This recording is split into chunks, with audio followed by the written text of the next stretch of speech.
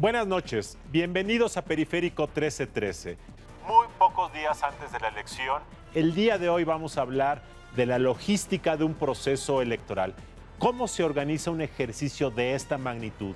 ¿Qué se requiere para que tú puedas votar en unos días para elegir a tu diputado, presidente municipal, a gobernador? ¿Cuántas personas están involucradas en este ejercicio, el más importante sin duda que existe en México? Hoy hablaremos de lo que significa y de lo que implica organizar una jornada electoral.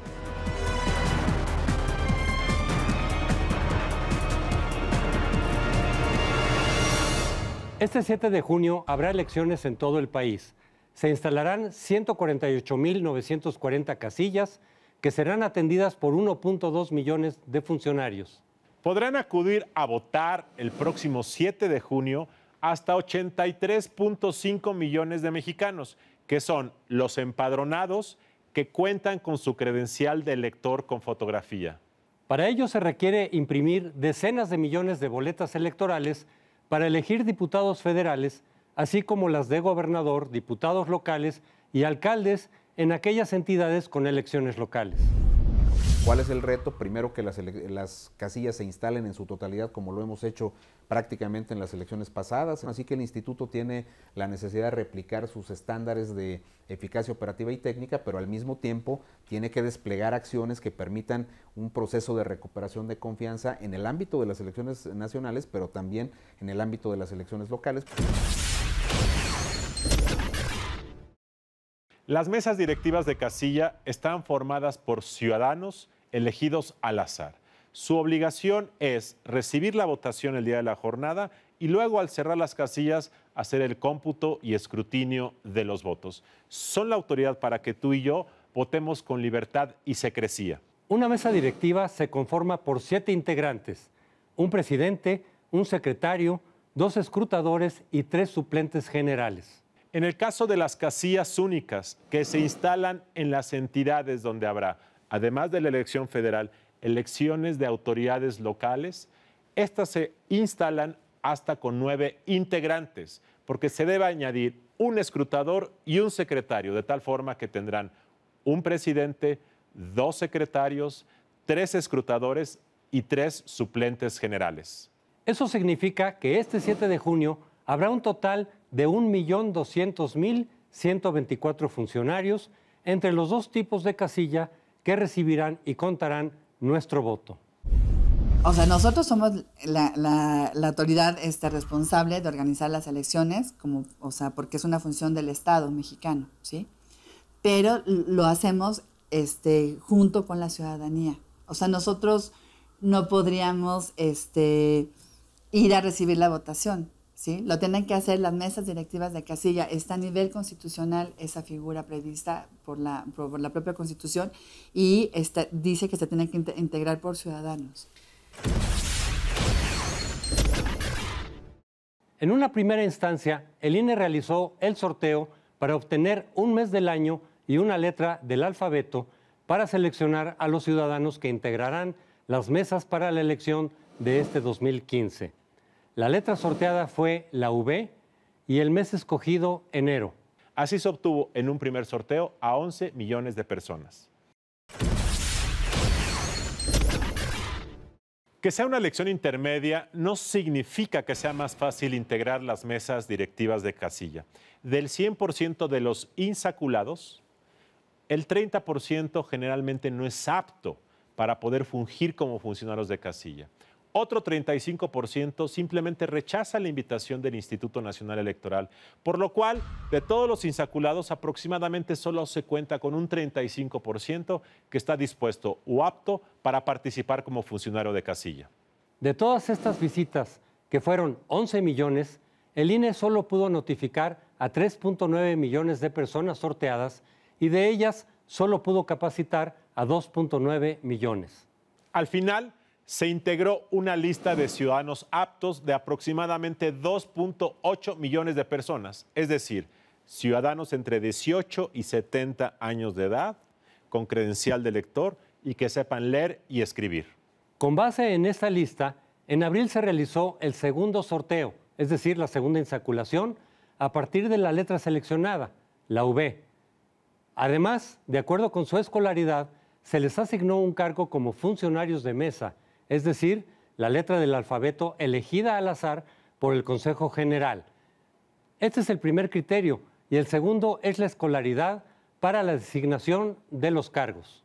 Durante abril, mayo y hasta el 6 de junio, los 1.2 millones de funcionarios designados reciben un segundo curso de capacitación y participan en un simulacro de la jornada electoral. Por último, del 9 de abril y hasta un día antes de los comicios, se pueden sustituir a los funcionarios de casilla que por diversas causas no puedan desarrollar sus funciones el 7 de junio. Y obviamente, bueno, el, ciudadano tendría que aceptar y si acepta esta, esta circunstancia, entonces se les va a dar un curso para que les explique qué este, implica ser funcionario de casilla y cuáles son las actividades que tienen que llevar a cabo.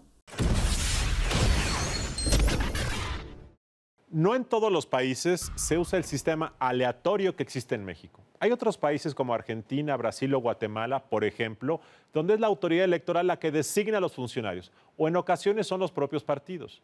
Hay otros países también en donde se hace una convocatoria para que los interesados puedan acudir a tomar un curso de capacitación y ser parte de las mesas de casilla. En otros casos, como es Bolivia y Chile, el mecanismo de integración sí es a través de un sorteo de los electores de la sección electoral o entre las personas de las listas propuestas por los partidos políticos, las organizaciones cívicas y asociaciones gremiales o profesionales. En la mayoría de los países de América Latina, el cargo y obligación de ser funcionario de casilla es obligatorio y susceptible de sanciones, salvo casos como México, Paraguay y Nicaragua, donde no ocurre así. Asimismo, en algunos países como Ecuador y El Salvador, existe una remuneración por el desempeño del cargo.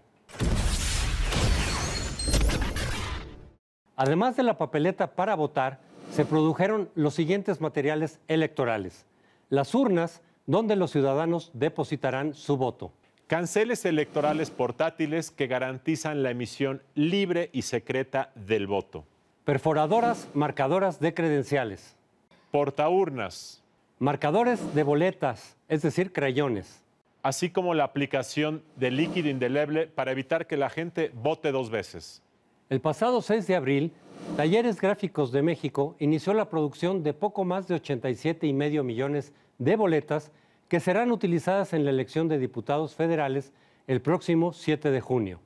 En las entidades que tendrán elecciones locales, cada autoridad electoral de cada estado determinará si imprime los materiales electorales en talleres gráficos de la nación o lo hace en otro lugar u otro proveedor, siempre y cuando se garanticen las medidas de seguridad. Entre el 6 y el 20 de mayo, el INE distribuyó las 87 millones de boletas y el material electoral a todo el país. Y será este lunes 2 de junio cuando se haga su entrega a los presidentes de las mesas directivas de casilla. El próximo 7 de junio se instalarán 148.940 casillas en todo el territorio nacional, que son casi 10.000 casillas más de las que se instalaron hace seis años, en 2009, que fue la última elección intermedia. México es de los pocos países en el mundo donde las casillas se instalan en lugares cercanos a donde los electores habitan y que reúnan los siguientes requisitos.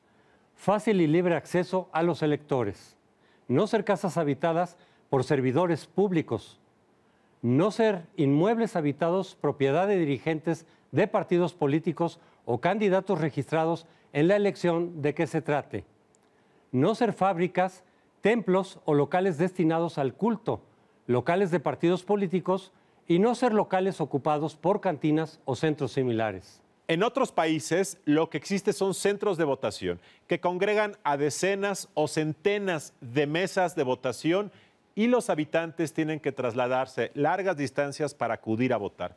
En México, en contraste, la casilla está cerca de tu hogar para que no tengas que desplazarte largas distancias.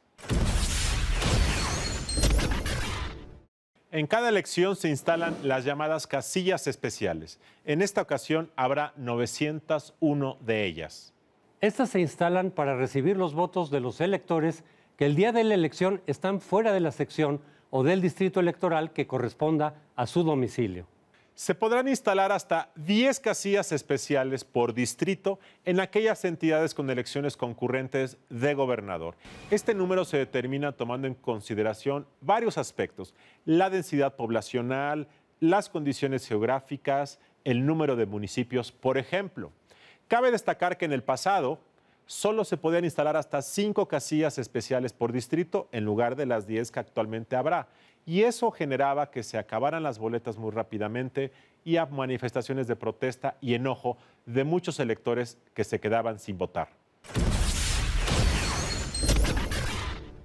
El modelo de casilla única es una de las nuevas características de la organización electoral, el cual permite que en elecciones concurrentes federales y locales el ciudadano pueda ejercer su voto en un mismo lugar, atendido por una sola mesa directiva de casilla y bajo los mismos estándares de eficiencia, calidad y confiabilidad. La recuperación de confianza, en mi opinión, demostrarles que eh, las elecciones se organizan con apego irrestricto a la ley, que hay un piso parejo para la contienda entre los diversos actores políticos, que la institución se maneja con absoluta transparencia para que todo el mundo sepa cómo se toman las decisiones, cuáles son los resultados en esas decisiones, cuáles son los procesos deliberativos que nos llevan a una determinada decisión. Yo creo que esa, esa parte está este, omnipresente en la actuación del Instituto Nacional Electoral. Este ha sido el programa de la logística de la elección. Ya muy pronto será la jornada electoral. Muy buenas noches.